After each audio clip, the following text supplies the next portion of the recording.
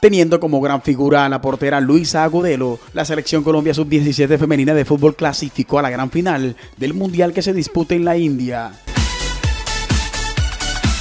El equipo dirigido por Carlos Paniagua se enfrentó ante una aguerrida Nigeria que durante los 90 minutos no permitió que su pórtico fuera vulnerado. El compromiso terminó 0 por 0.